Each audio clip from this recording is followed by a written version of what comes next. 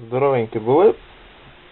Сегодня я расскажу о той проблеме, с которой я столкнулся с двигателем Piaggio после того, как был отреставрирован коленчатый вал. В общем-то, проблема была связана с тем, что палец родной оказался немного дикой размерности для ребят-ремонтников. Там было замерено 15,93 сотых. Поэтому палец очень легко, кстати, выпрессовался при распрессовке коленчатого вала. Палец НГШ, если кому непонятно. И человек сказал, что они профрезеруют и поставят нормальный палец, то есть нормальная посадка, как положено. Потому что то, что было, это не годится. В общем-то. Я и согласился и сказал да. То есть собрано коленвал я тогда на плохих подшипниках ставил картер, проверил, то есть продувка не была нарушена. Дул рецертом.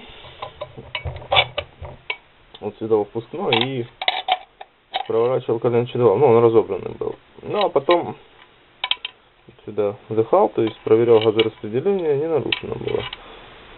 Вот. А потом докупил нормальный подшипник, вставил, и вот вам все. Коленчатый вал проворачивался ровно до того места, как э, палец НГШ доходил до специального окна, я вам потом покажу. И все, стопорился. Оказывается, может там они прогадали немного в посадке с натягом. На горячую это все дело заходило и, в общем-то, щека немного раздалась. Я сначала думал, ну, то есть перепробовал все три, там сколько, да, три у меня было подшипника куплено. Три подшипника поменял в этой половинке, то есть не делал. И потом аккуратненько замерил. И понял, что все-таки при прессовой посадке часть металла раздается и входит в плюс. И вот на данный момент, видите, вращение идет легко. То есть наждачная технология, три вечера, потихонечку, полигонечку, то есть идет без заедания. Видите, если услышите, буду дуть.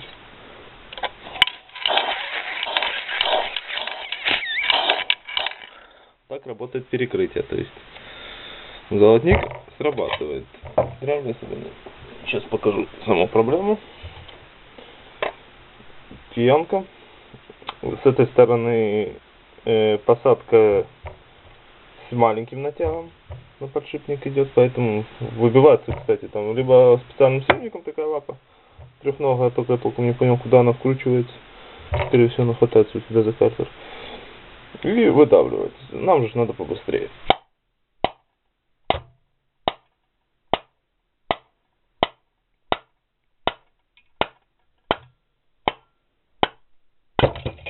Здесь сошло. Ну и в общем-то методом научного тыка собирал, крутил, замечал, где останавливается коленвал, одной частью здесь, вырезом, вторым здесь. Было вычислено, что вот это вот, вот, вот этот вот сектор, вот этот сектор раздался и задевает аккурат за окно. То есть вот этим окном осуществлялась продувка. Потихонечку снял, собрал, о, не задевает. Ставлю вторую половину, задевает. Консольная посадка, то есть за счет люфтов в подшипнике все равно. Опять разбираем, все нагреваем, то есть где-то коробок спичек был за выходные спален, на роже горелки, нагрев, то есть эти посадки. Все, кстати, очень хорошо. Только нагрел, и сразу подшипник сходит. Вот, вот этот подшипник, второй коренной, его уже толком нагрев не снимешь. Там будет съемник, я покажу вам.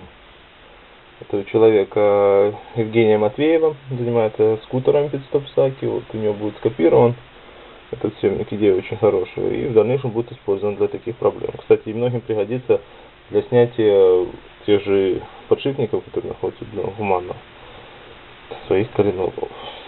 Ну, как говорится, На этом все. Обратно я его не вставлю, потому что надо идти сейчас на печку, греть.